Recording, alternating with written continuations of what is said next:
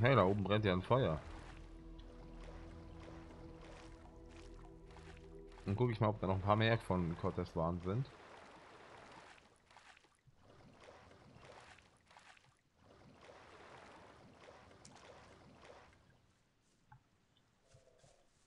Oh. Ich höre Lurker.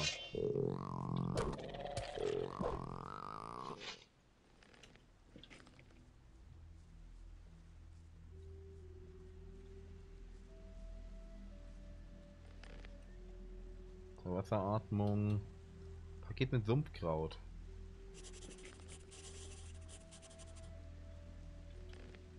Hm, So viel Waren sollten reichen, um Cortez davon abzuhalten, mich auf der Stelle zu ermorden, aber wenn ich noch ein bisschen mehr finde, bekomme ich wahrscheinlich eine größere Belohnung. Ja, hätte ich auch gesagt. Hey, da ist eine.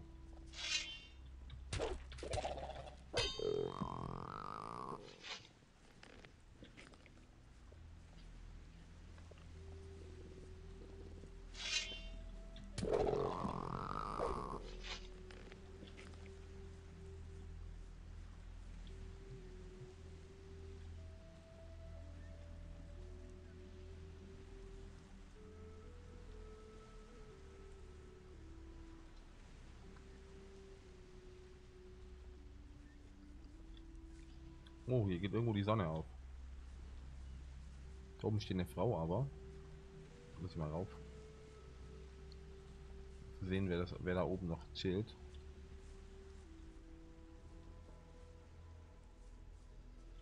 Hey, Hades. Bleib weg von uns. Ich schwöre, ich bring dich um. Entspann dich, ich werde dir nicht wehtun. Ich verspreche es dir. Du bist einer von diesen verdammten Schmugglern. Und du zu enden mit dir auf dem Boot. Ich glaube nicht, ich habe nichts mit ihnen zu tun. Ganz im Gegenteil. Sie haben mich vor langer, äh, vor nicht allzu langer Zeit auf der Insel gebracht. Und du, woher kommst du? Ich bin von Londram hergekommen. Was Londram? Du lügst. Wir haben unser ganzes Leben in der Stadt verbracht. Und ich habe dich nie gesehen. Kein Wunder, meine Familie lebte außerhalb der Stadt. Wenn du der bist, für den du dich ausgibst, sag mir den Namen des Gasthauses am Eingang der Stadt.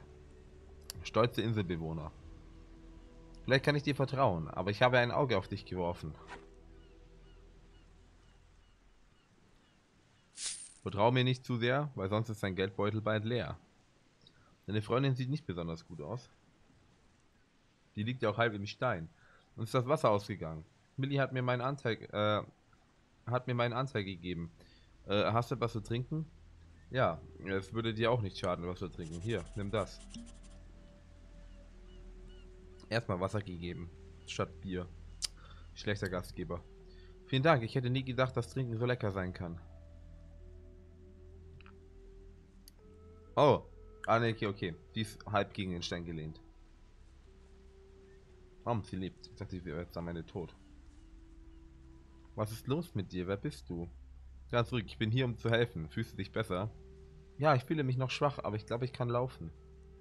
Das freut mich für dich. Jetzt müssen wir uns nur überlegen, wie wir euch hier rauskriegen.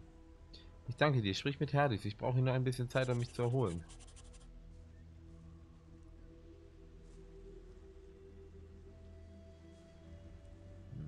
Ich bin froh, dass Mini wach ist. Ich hatte schon Angst, sie würde nicht mehr aufwachen. Geben wir ihr noch ein bisschen Zeit. In der Zwischenzeit habe ich ein paar Fragen an dich. Also gut, was würdest du gerne wissen? Kannst du mir sagen, ob die, ob ihr eine Ladung transportiert habt? Ja, und sie haben das Boot mit Waffen beladen, bevor das Schiff gesunken ist. Aber nachdem Millie und ich äh, hier festgesetzt wurden, äh, was habt ihr getan? Äh, was war der Grund für diese Aktion? Diese Leute hatten nicht vor, damit Abendessen zu machen. Sie beschlossen, ihre Pläne, zu durchkreuzen. Sie liegen wahrscheinlich irgendwo auf dem Grund der Insel. Wenn du tauchst, kannst du äh, sie vielleicht finden. Ich schätze, ich habe keine andere Wahl. Moment mal, was ist mit uns? Ich werde euch hier rausholen. Ich muss erst die Waffen holen, sonst verlässt du diese Insel hier lieber nicht. Was auch immer, äh, was auch immer du denkst, aber je eher wir hier rauskommen, desto besser. Äh, wo, wie bist du die Piraten losgeworden? Dieser Basser war wirklich brutal. Und dann hat er uns auch noch zum Rudern gebracht. Kannst du dir das vorstellen? Das übersteigt meine Fähigkeiten. Wir ruderten und er trank Alkohol und hetzte äh, uns ständig. Ich ahnte, dass er nichts Gutes im Schilde führen würde, also wurde ich äh, bei der ersten Gelegenheit los. Schließlich lief der Trunkenbold ein und nahm ein. Ich, äh, ich nahm sein Messer und stieß ihm direkt in seinen leeren Kopf. Millie war entsetzt, aber was hatten wir zu tun? Er würde uns zu seinen Dienern oder Kurtisa Kurtisaninnen machen.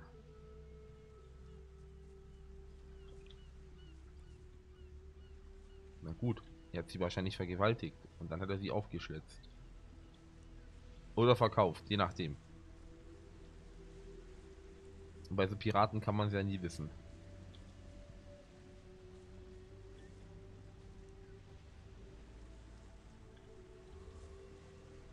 Ja, da sind die Waffenpakete.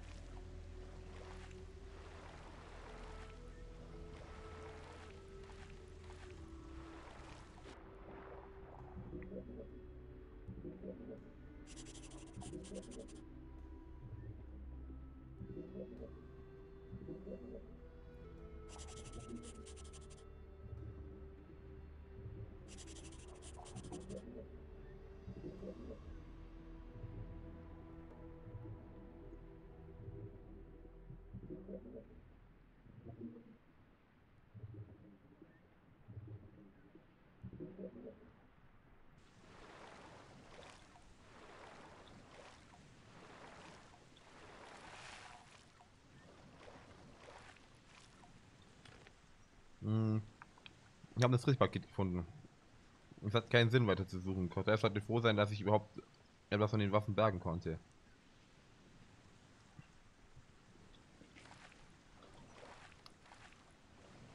Und dass er das halt überhaupt alles tut. Ja, der mit denen ja nicht mal was am Hut.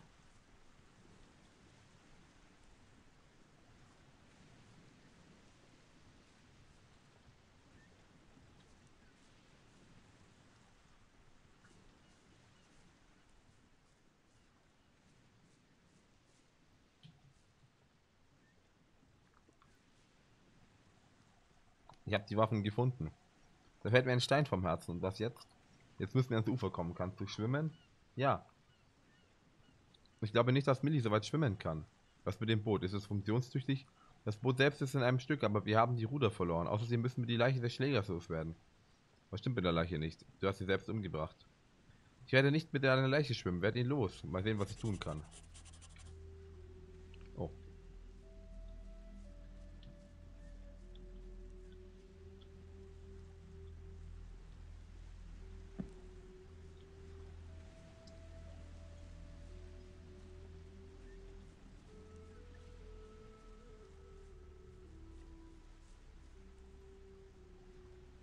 Das Boot.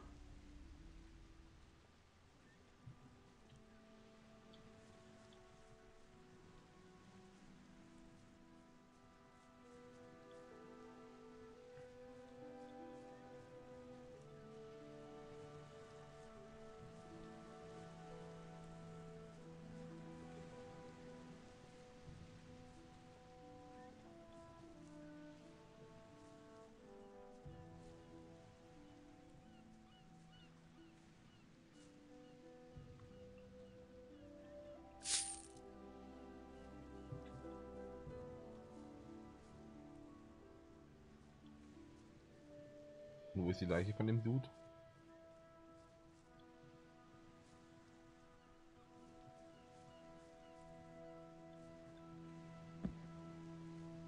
Oder habe ich noch irgendwas vergessen?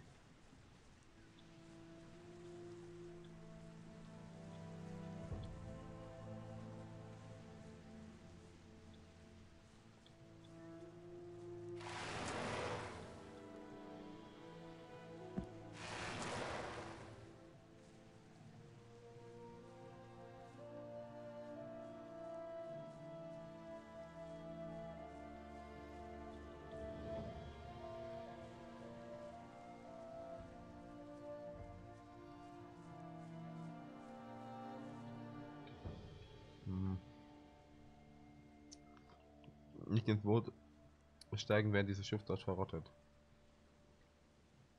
Hm, Eine der Palmen zu fällen. Ich darf nicht vergessen, die Leiche des Piraten loszuwerden. Oh.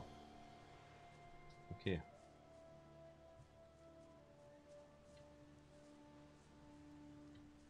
Schneide.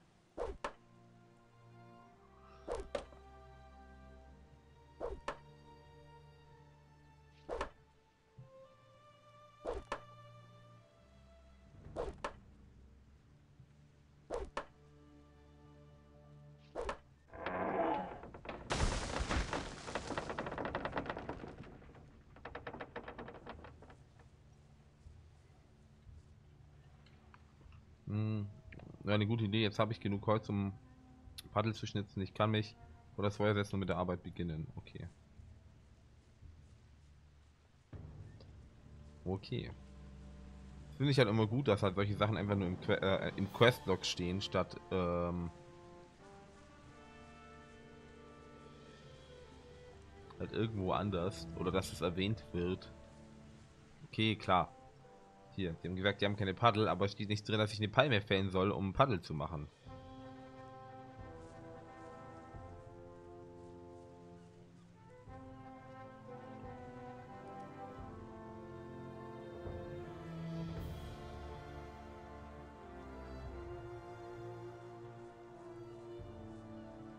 Bisschen stark klar. Auch, auch wirklich, mir geht es jetzt besser. Es gibt keinen Grund, das zu verzögern. Also gut, steig ins Boot. Ehe du dich versiehst, sind wir auf der anderen Seite. Habt ihr einen Plan, wohin ihr gehen wollt? Wir wissen es nicht. Es ist eine fremde Insel für uns, aber Millie und ich äh, sind uns sicher, dass wir es schaffen können. Nicht so ungut, aber wenn ich euch alleine gehen lasse, seid ihr innerhalb einer Stunde tot. Es liegt ein riesiger Sumpf voller Monster vor euch. Was sollen wir also tun? Hm, den Sumpf zum Weinberg zu durchqueren. Die Zuflucht ist nicht weit von hier. Da wird man sich gut um euch kümmern. Nee, zum Weinberg. Der Pirat sagt, dass es nicht weit von hier eine Zuflucht gibt. Ist es nicht besser, zuerst dorthin zu gehen? Glaubt mir, wenn ich dort, euch dorthin bringe, wartet nichts Gutes auf euch. Bestenfalls endet ihr als Kurtisanen und die Schurken dort zu unterhalten. Gut, dass du uns das sagst. Das ist genau die Art von Albtraum, die wir vermeiden wollten. Los geht's.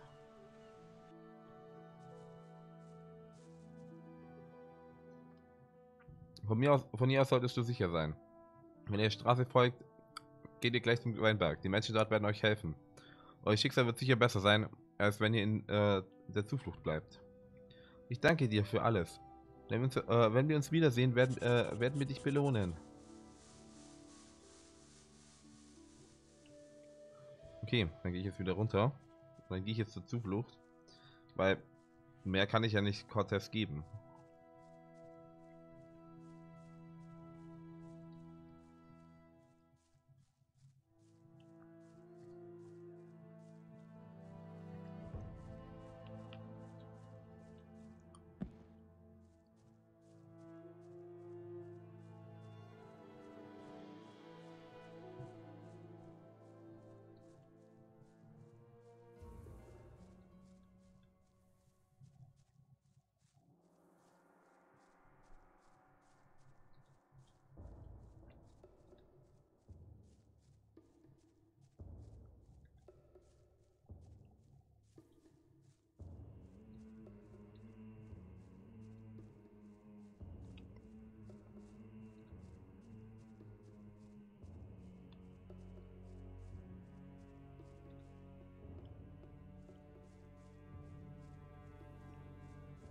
Ah, Cohen lebt noch.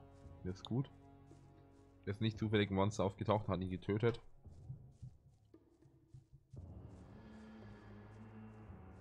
Wäre auch nicht so gut für Marvin, glaube ich mal, sonst hat er ein Trauma. Wenn sein Bruder verschwunden ist und dann auch noch sein, so ein Kumpel von ihm stirbt, random in einem Sumpf, den er nicht kennt.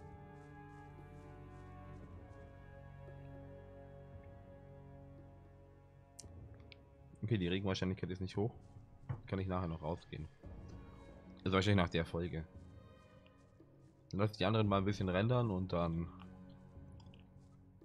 passt es soweit mal.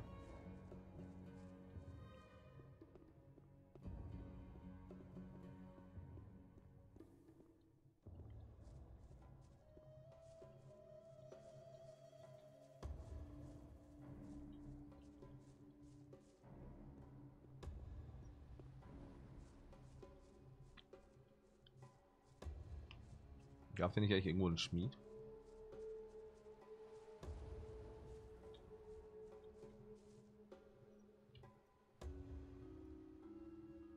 Sehr fetter Fisch. Ich habe das gefunden. Das ist gut, denn Cortez ist wütend. So wütend, dass ein Fleischschatz genügt, der hackt uns beide in Stücke. Im Sumpf hat jemand versucht, eine große Truhe mit Gold zu schleppen. Ich habe noch einiges zu tun, aber wenn sich jemand darum kümmert, befürchte ich, dass sie uns früher oder später gestohlen wird. Bist du sicher, dass es von dem Transport kam? Wer sonst mit dem Sumpf ist auf magische Weise eine Truhe voller Gold aufgetaucht. Gut, gehen wir.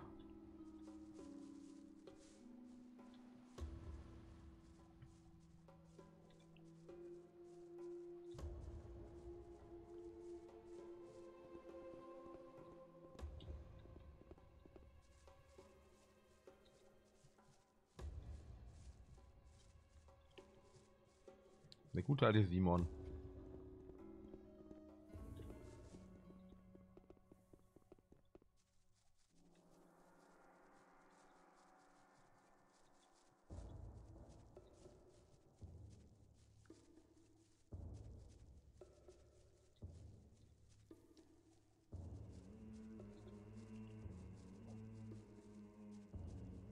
Ich finde aber die Rüstungsdesigns hier recht cool.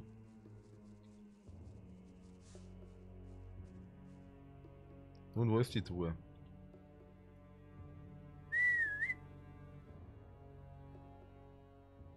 Was machst du da? Willst du die Monster zu uns locken? Tut mir leid. Das sind nur die Nerven. Die Kiste ist nicht weit entfernt. Nur lass uns weitergehen.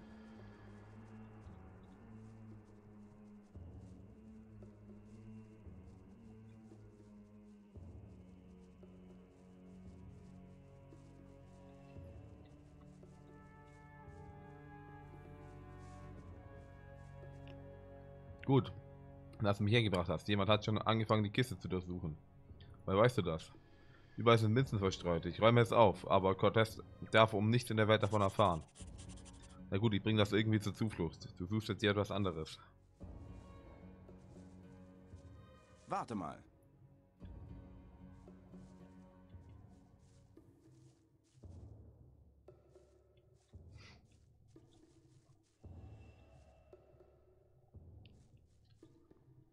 Laufe ich rüber und dann ist es auf einmal da. Dann ist sie einfach über, auf eine Schulter gepackt und getragen, obwohl sein Arm nicht mehr so lange reicht, aber der Plan funktionierte. Cohen ist entkommen und nach dem, was ich gesehen habe, hat er mehr Gold mitgenommen, als ich erwartet hatte. Und Simon wird Cortez nicht sagen, dass jemand in der Truhe gegraben hat. Ja, dann ist Simon tot, wenn er das sagt.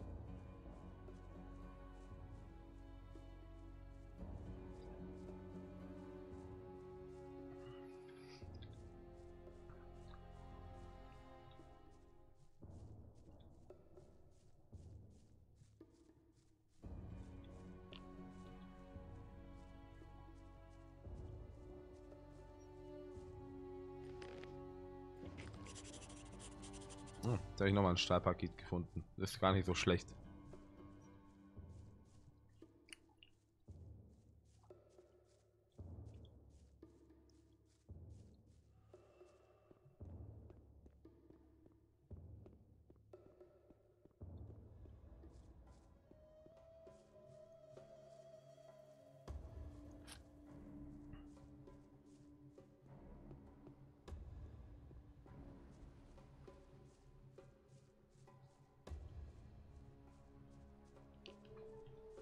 Quatsch dann auch jemand anders dann von denen. Dan. Hey, du.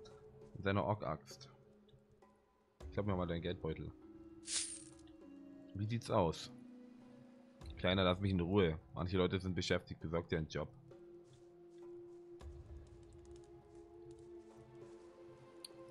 Beckett, was hast du vor? Wir haben schon einmal darüber gesprochen. Weißt du, wie viel ich im Moment im Kopf habe? Pet. Da haben wir ein Geldbeutel. Ein kleiner Köcher mit Bolzen. Wie viele Bolzen habe ich denn? Sieben, oder? Ne, 39.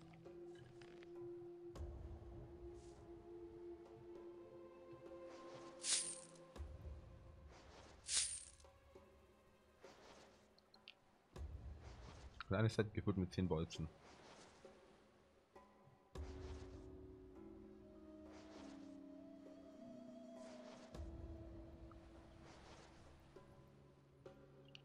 Kosten die auch viel mehr.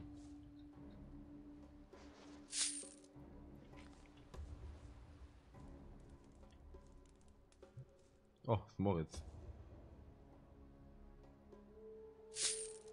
Wie läuft? Wie ist das Leben? Wie ist das Leben? Ich bin nicht reich, diese ganze Farce ist umsonst. Ich werde einen anderen Weg finden, um Geld zu verdienen.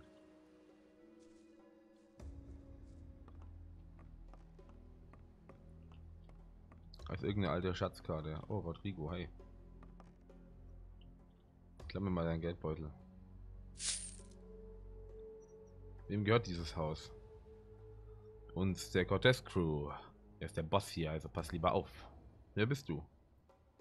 Ich bin Rodrigo. Ich passe auf, dass niemand Cortez in den Rücken fällt und erledige verschiedene andere Aufgaben für ihn.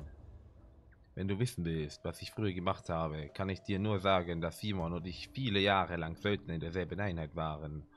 Wir haben sogar in der Schlacht von Varant gekämpft. Das waren noch Zeiten. Und dann heuerten wir auf Cortés Schiff an. Du siehst schlau aus. Frag den Boss, vielleicht kann er einen Job für dich finden.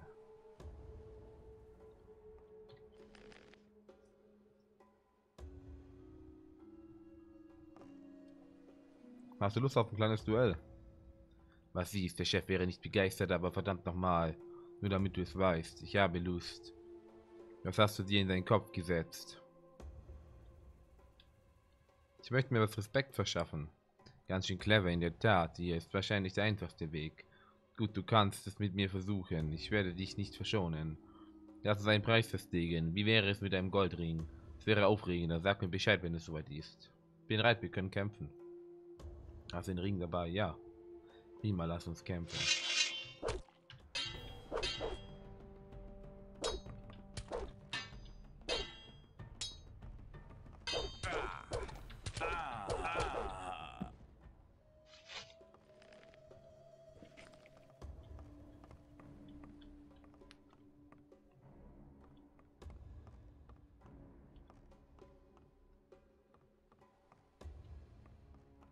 Das werden wir ja sehen.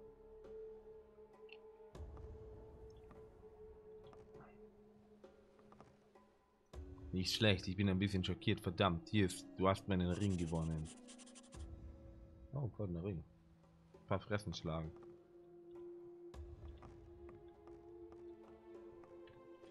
Dann speichern wir mal. Reden mit Cortez. Mal gucken, was der so sagt.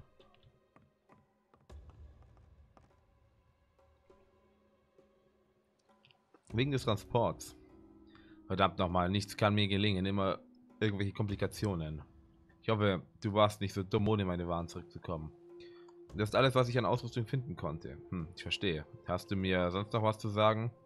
In der Mitte des Stumpf Sumpfes stand eine Truhe voller Gold. Jemand hatte sich schon daran zu schaffen gemacht, aber das meiste davon war noch da. Ich weiß nicht, wer sie dorthin gebracht hat, aber... Oder wie, aber ich habe sie mit Simon gesichert. Wenigstens konnte ich eine konnte ich ihn eine Zeit lang gebrauchen. Ich konnte niemand aus Beckers Mannschaft finden. Sie müssen alle mit dem Schiff untergegangen sein. Gibt es Überlebende? Ich habe, äh, ich habe sie nicht getroffen und selbst wenn sie das Ufer erreicht haben, müssen sie von den Bestien erledigt worden sein. Beckett wird mich dafür bezahlen. Ich brauche neue Leute, wie nie zuvor. Ich konnte einen Teil der Waren sicherstellen. Ich bezweifle, dass es in der Nähe noch etwas anderes gibt. Es ist gut, dass es wenigstens so, viele, so viel war. Wenigstens stehe ich nicht mit leeren Händen da. Kann ich mit einer Belohnung rechnen? Ja, als Belohnung wird mein Schwert deine Eingeweide nicht auf den Boden zerreißen. Großzügig, ich danke dir. Überstrapaziere nicht meine Geduld. Jetzt ist es an der Zeit, Beckett zur St äh, Strecke zu bringen. Weißt du, warum das Schiff gesunken ist? Hm. Orks griffen das Schiff an. Die Orks griffen das Schiff an, nach dem, was Beckett sagte, hatten sie keine Chance zu entkommen. Wäre sein besserer Kapitän, äh, wäre ein besserer Kapitän als ein Lügner gewesen, hätte er es äh, schaffen können. Die Galeeren der Orks sind nicht die schnellsten. Ich gehe kein Risiko ein. Der Schmuggel muss unterbunden werden, äh, bis, sich die, bis sich die Lage beruhigt hat. Töte ihn. Wir werden ihn nicht mehr brauchen und jemand äh, muss für den Verlust des Schiffs gerade stehen.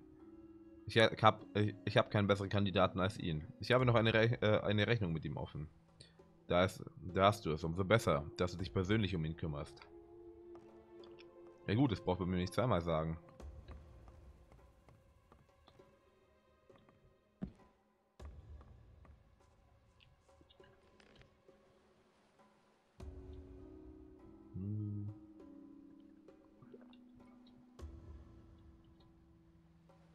Hautveränderung. Verteidigung 25, das ist gut. Trotz sollte ich öfters benutzen bei starken Gegnern.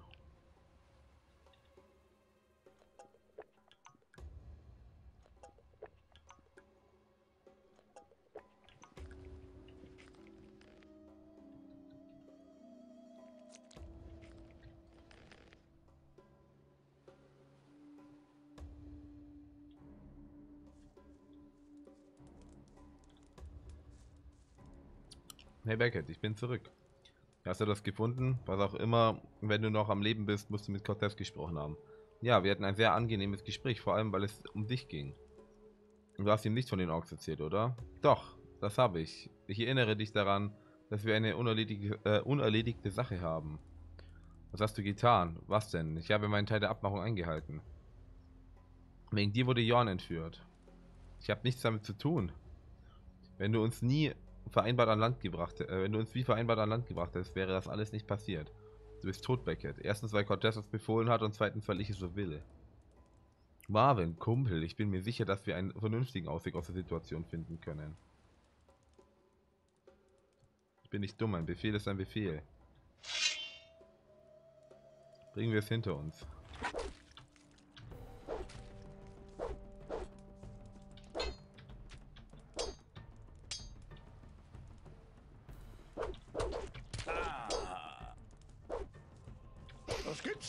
Nicht. Ah, ein Kampf. Das gibt's doch gar nicht. Was hast du getan? Du hast den Hauptmann getötet. Cortez hat sein Ur Urteil gefällt. Ich rate dir nicht zu hinterfragen, was hier passiert ist. Du hast einen Befehl bekommen und ihn befolgt. Für mich ist das einfach. Vielleicht profitiere ich noch davon. Jetzt, wo Beckett tot ist, muss ich mir nur einen neuen Captain suchen. Was dich betrifft, möchte ich dir das hier zurückgeben. Wie bitte? Hier, das Amulett. Du hast vorhin gesagt, es sei dir wichtig. Du weißt gar nicht, wie sehr. Umso mehr hast du es verdient. Dank dir kann ich mich endlich davon lösen, ein Handlanger zu sein. Du solltest dich erst zuerst bei Cortez melden und ich rate dir, ihm alles genau zu erzählen. Das werde ich. Mach's gut. Mutters Amulett. Kompass. Funktioniert noch.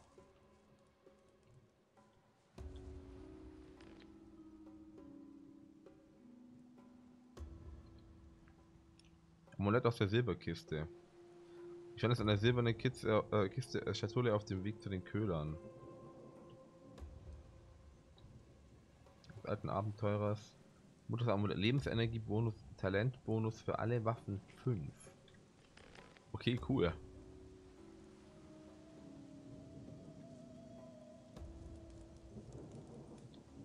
Das Amulett ist strong. Dann werde ich jetzt nochmal mit Cortez reden. Beckett ist tot. Ich bin neugierig, ob er versucht hat, sich freizukaufen. Was hat für sein Leben geboten? Gold, Juwelen? Ist das wichtig? Du bekommst, was du wolltest. Du hast dich gut geschlagen und vor allem bist du loyal geblieben. Damit bist du einen Schritt näher daran, Big Ben kennenzulernen.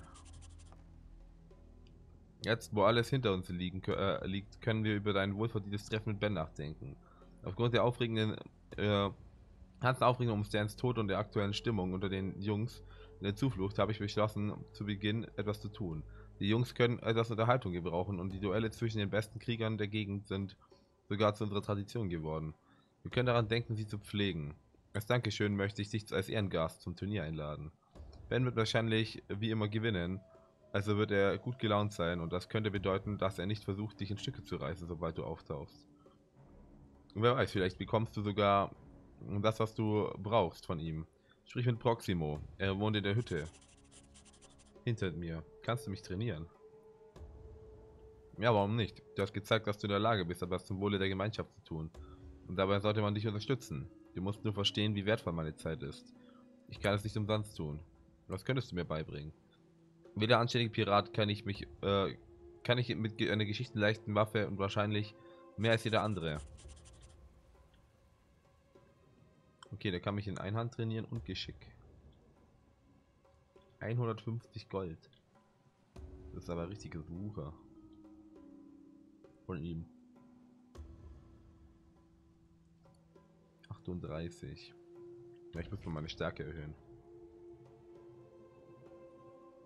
Du musstest also nur an dem Turnier teilnehmen.